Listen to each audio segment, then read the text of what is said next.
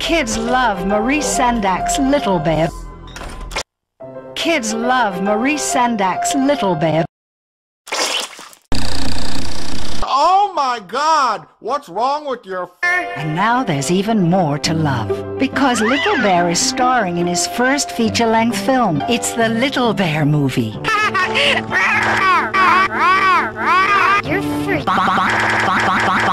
Bonnie, little Lena. Featuring two new songs.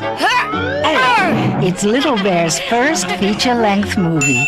Coming this summer. Available only on video and DVD. Hey SpongeBob, take a look. Kids love Maurice Sendak's Little What are you doing down there?